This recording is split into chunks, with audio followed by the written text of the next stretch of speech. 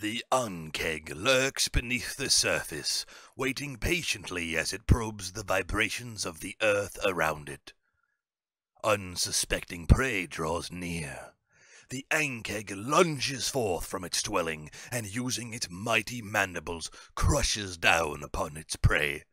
Helpless, the prey is dragged deep into the Ankheg's dwelling to be consumed alive by acidic enzymes, making its flesh soft and tender for the Ankheg's next meal.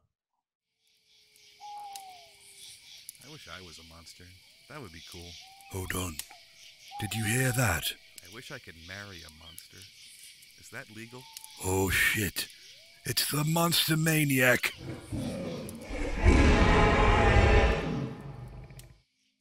What's up, guys? It's Yagzula, the Monster Maniac, back at it again with the Ankheg. We're going to talk about what these things are, what they're capable of, how you might fight one, where you might find them, and how you can include them in your campaign. And we've got one extra thing that I'm doing with this this video, and maybe some to come. The Monster Maniac is making his own monsters, and this time it's going to be the Ankheg Queen. And I'll get to why that is, and I'll talk about what she does and how she uh, interacts with the dynamic. Uh, so first, what is an Ankheg? Ankhegs are giant insectoid terrorists who infest the planet and prey on the weak and unsuspecting. They have giant meaty claws and mandibles that can crush bone, smaller rocks, trees, and anyone who might encounter them. They kidnap cows, chickens, and goats, but on a good day, they might find a peasant farmer or their children frolicking near one of their burrows and kidnap them too. These things have an intelligence score of 1, so they don't write ransom notes. They eat you. Plain and simple. That is their primary objective, is just to stay alive and to feed.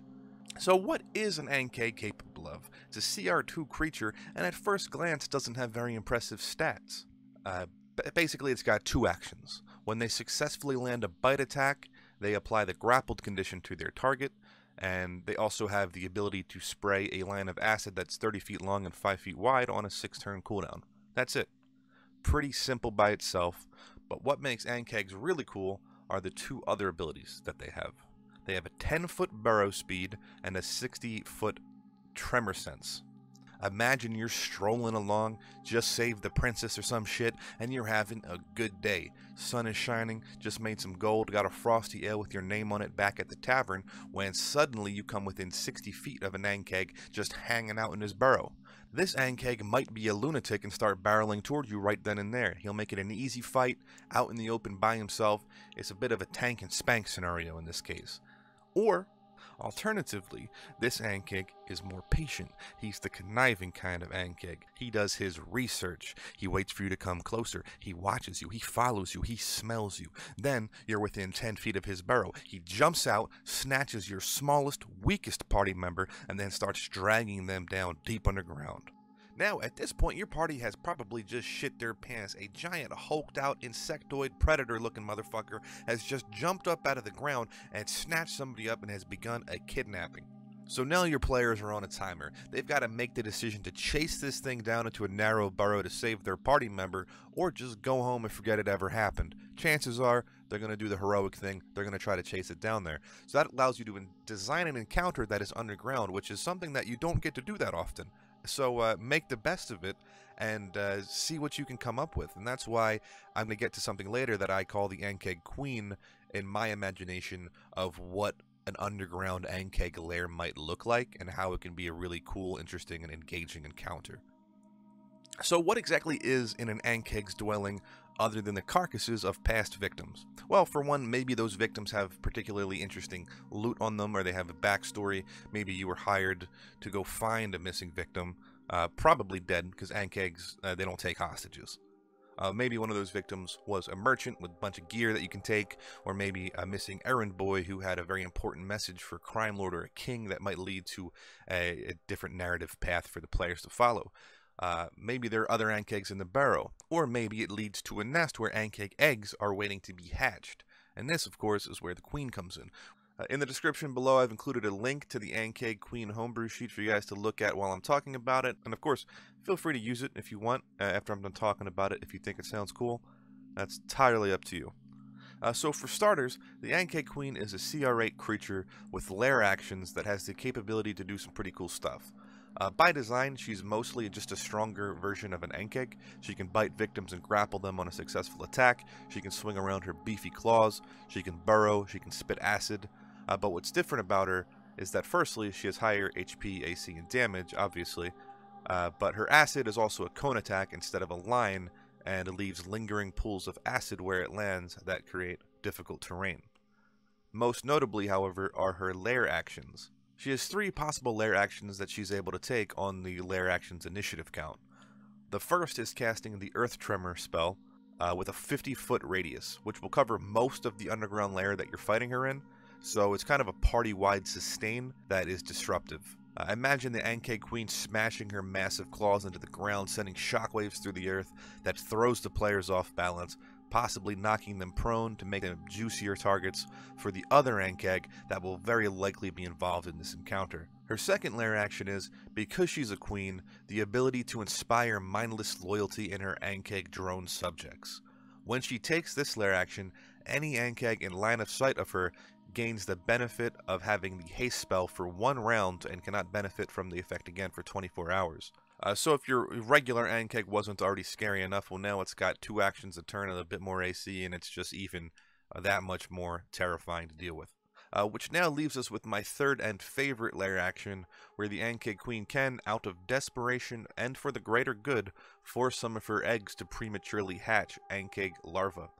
Ankheg larvae have stat blocks of their own, also included uh, below in the, in the stat sheet, but they're very weak and easy to kill. What I love about them is their ability to burrow under a target's skin and dissolve at their flesh from the inside, with the Ankheg's inherent ability to produce powerful acid.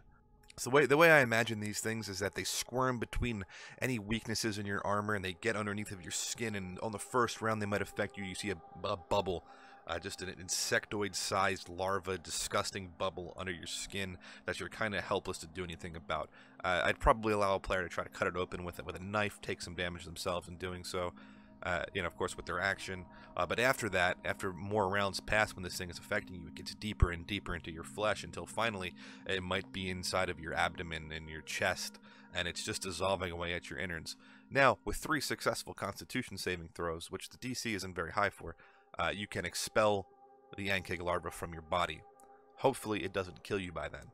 It doesn't do that much damage, but just the fact that it's inside of you and just dissolving away at your insides is just, I think that's so cool, and I would love to be able to experience that in that kind of encounter. Uh, so I'm not going to go on any longer about the Ankheg Queen since she's not official Wizards material, but if you guys end up liking her as my first homebrew edition, let me know in the comments and uh, maybe I'll include some more like her in later episodes.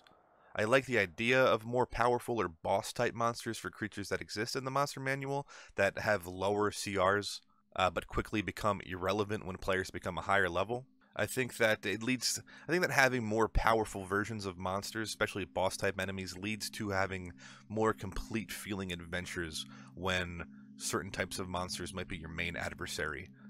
Uh, for instance, Ankhegs. I think they're cool, but when you go up against Ankhegs, you're just going up against a bunch of the same kind of creature. And if you wanted them to be part of an adventure or a plot hook, you're kind of just fighting through a bunch of them and then a bunch more of them. And then what do you? What's the end goal?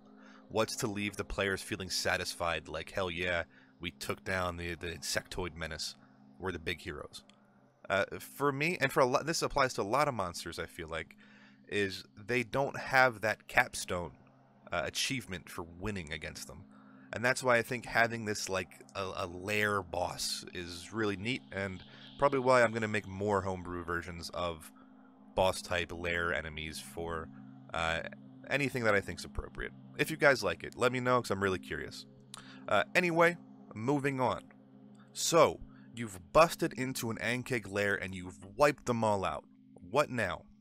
Ankhegs are particularly valuable when killed because in some settings, Ankheg chitin can be made into armor people will pay a good price for Ankheg chitin because the armor made from it is typically half the weight of an identical suit of armor uh, made of metal, and it's just as effective.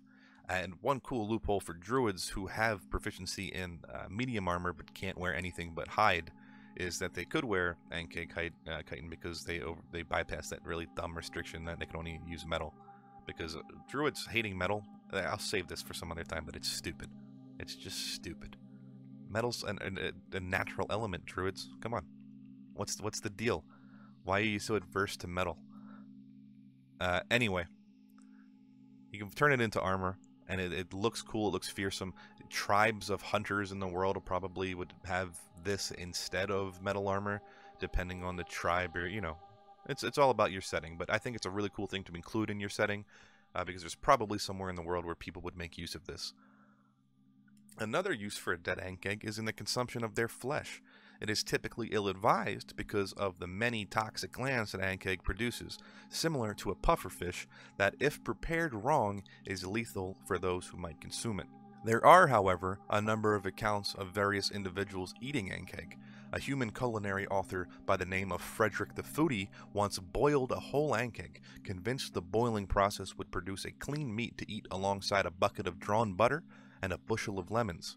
Unfortunately, before he was able to render a verdict on the taste, Frederick's throat closed up, never to open again.